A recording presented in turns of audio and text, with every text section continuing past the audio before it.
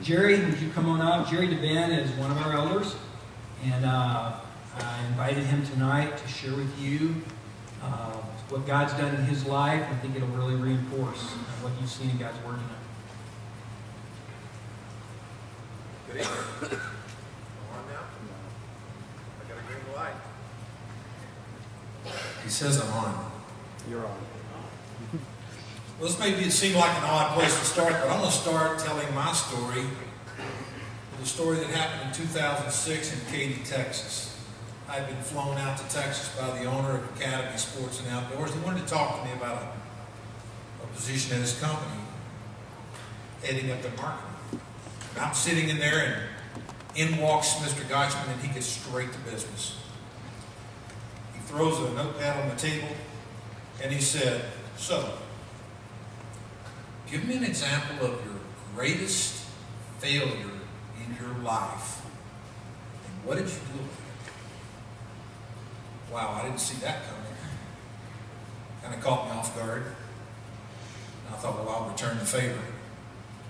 So I said, well, actually, Mr. Gochman, my greatest failure was waiting until I was 18 to get saved. Because if I'd gotten saved three years earlier, when I felt the conviction of the Holy Spirit first, probably would have saved the lives of the two babies that were aborted because of me. Probably would have spared a whole lot of heartache and years of struggles from a high school girlfriend, Deji Allen. See, she learned 1 Corinthians 15.33 the hard way. And it says, do not be misled. Bad company corrupts good character. She was misled, all right. I pressured her to go against her Christian faith and have sex before marriage. And then I pressured her to do the unthinkable, and that is terminate two pregnancies by killing two innocent lives. It cost us both dearly. Here I corrupted this sweet young girl, and then I made her an accomplice in killing two people. But by the way, parents and youth, I have found in my life gravity in dating relationships tends to work. I pulled her down to my level. Seldom does it work the other way around. I was the bad boy that every parent fears their daughter will bring home. No, it wasn't always that way.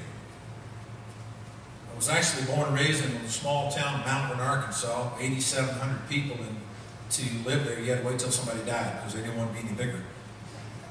It was like our own little neighborhood. And I was really fortunate because I had a very large extended family. I grew up with all my great grandparents, all my grandparents, aunts, uncles, cousins. I lost my first grandparent when I was almost 40, so I really had a strong influence of grandparents and extended family. Now, my sister and I were aware that our mother and dad were struggling in their marriage and things weren't really good at home. But being in that town and around grandparents, they seemed to compensate. They were deeply involved in our life and just smothered us in, in love. Some people would say we were rotten by the, by the grandparents. I was 10, though, when our folks announced we were moving out of state, and that was terrifying to us because everything that we thought of as family was going to be left in Malvern, Arkansas. And we were moving away from our own little neighborhood. And that's when my world went sideways. Um, we had, in our home, we had already known what it was like with the, the verbal and even the physical abuse, but it escalated and got really nasty. And then eventually, my sister and I both were subjected to even sexual abuse by our parents. And what kind of parent does that?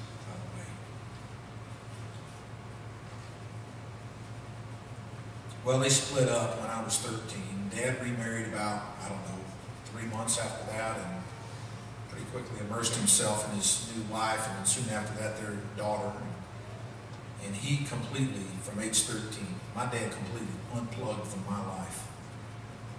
All participation in sports events, school functions, fishing, being together ended when I was 13.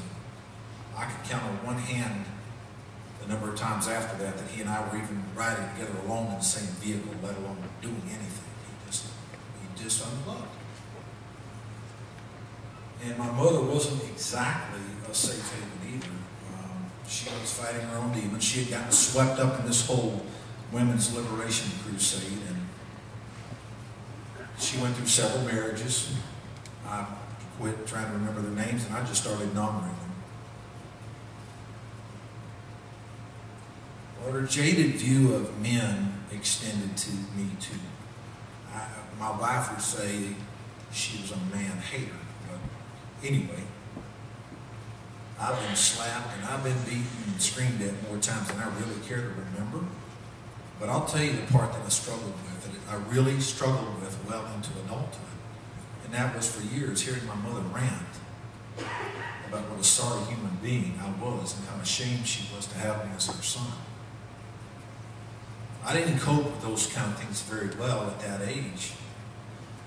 And so what happened was I turned into a bitter kid who grew into a very bitter young man.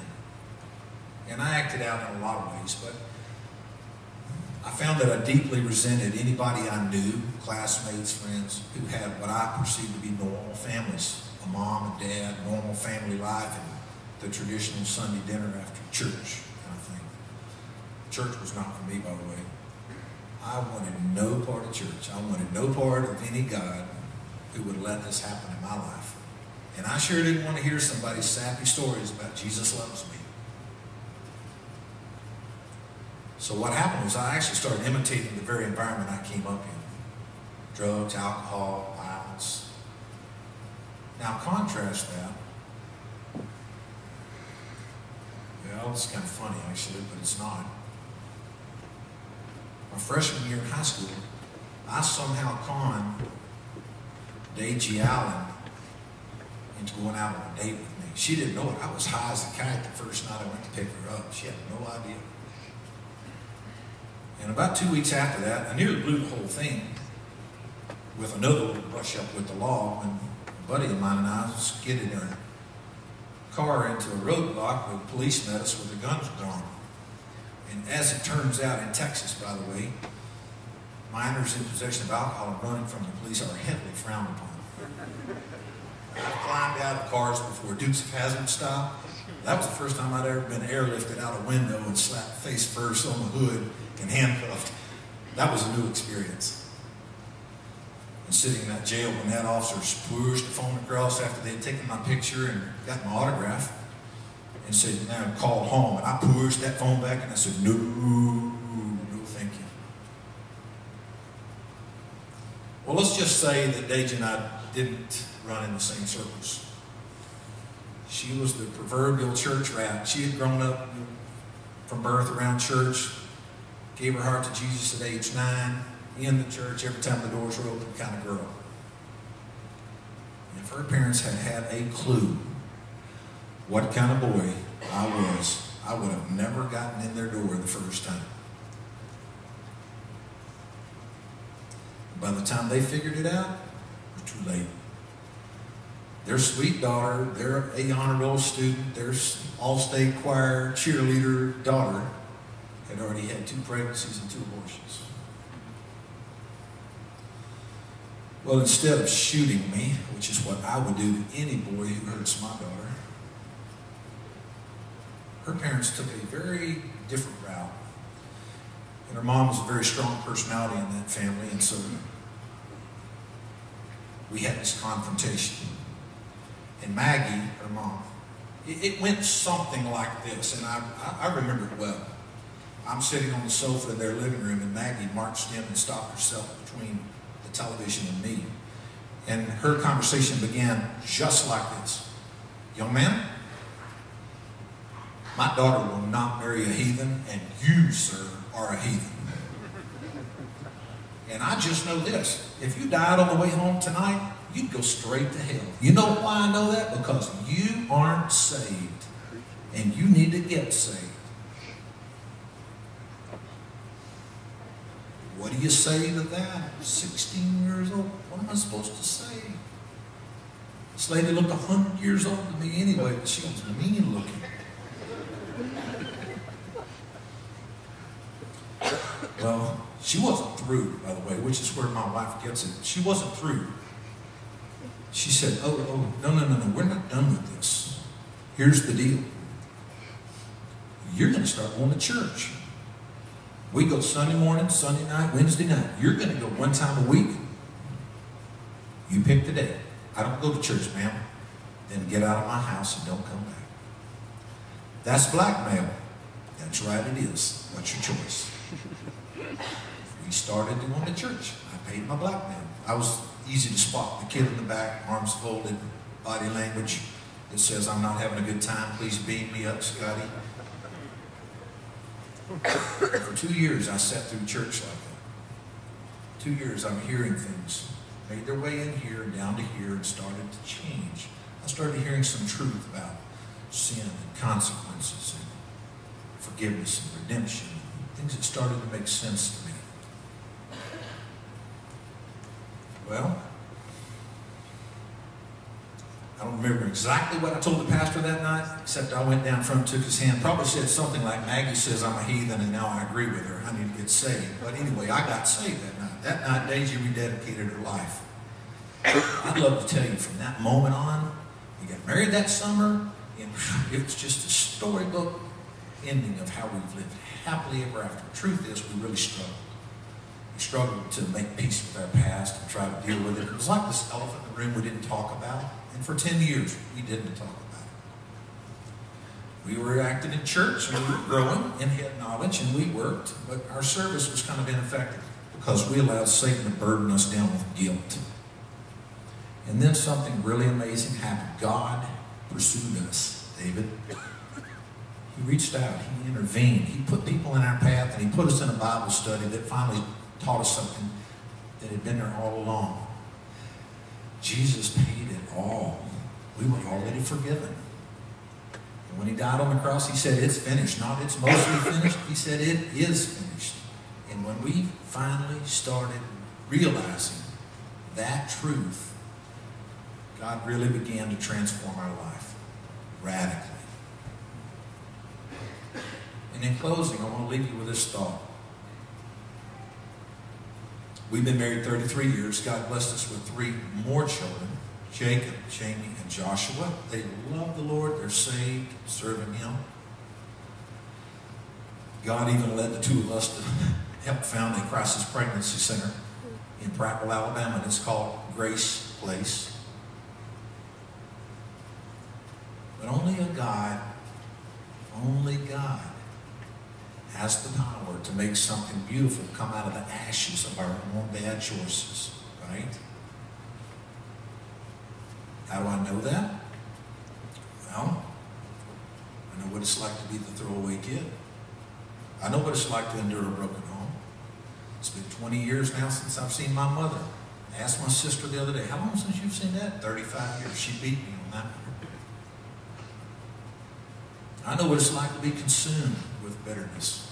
I know what it's like to struggle with unforgiveness. I know what happens when one drink and one drug leads to another.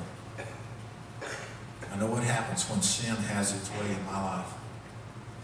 But I also know what it's like to be touched by God Himself and made completely whole.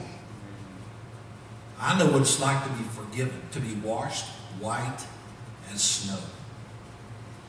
No more stain, no more guilt. And I know what it's like to make peace with my past, finally. I know what it's like to be given a brand new life, a brand new identity. I'm not the same guy that slid the car into that roadblock. We aren't the same kids who aborted two babies. What I can tell you is I've been adopted by God Himself. I've been redeemed. I've been restored. I've been given a new identity. And I'm a child of the King.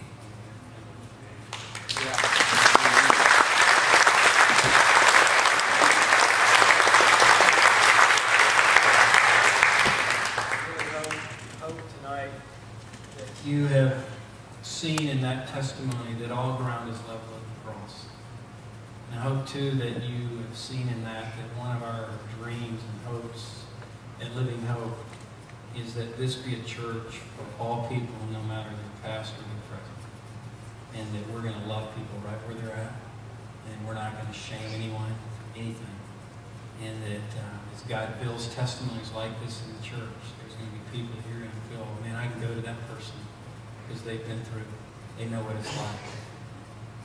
And we're going to celebrate now the good news that we've talked about and we've heard fleshed out.